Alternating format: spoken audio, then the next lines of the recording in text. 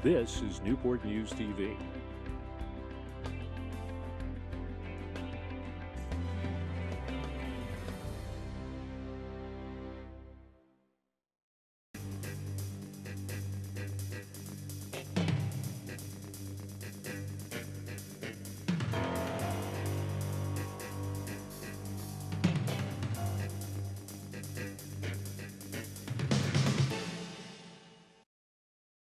Newport News Police Department needs your help to solve a recent armed robbery. On Monday, July 20th, 2015, at about 10:50 p.m., a 28-year-old Hayes, Virginia man called 911 to report he had just been assaulted and robbed in his motel room. We need your help to solve this robbery and bring the guilty to justice.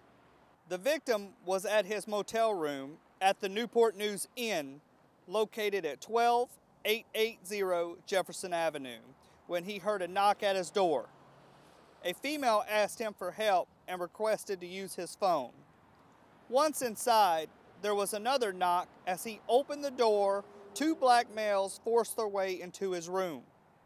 One male had a white t shirt or towel wrapped around his face and dreads. The second male had a short haircut. Both appeared to be in their early 20s. Both men were armed with handguns and assaulted the victim while demanding money. During the assault, the victim suffered a broken nose and a severe laceration to his face.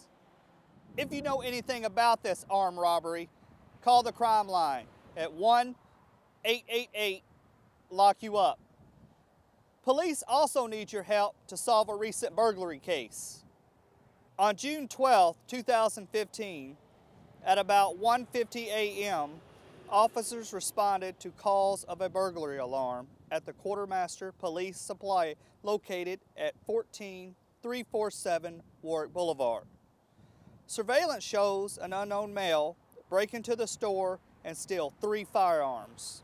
If you recognize this man, call the crime line at 1 888 Lock You Up. Remember, crime line callers may remain anonymous and never have to testify in court. Crime line callers are eligible for a cash reward up to $1,000 with information leading to an arrest. For the Newport News Crime Line, I'm Officer Brandon Maynard.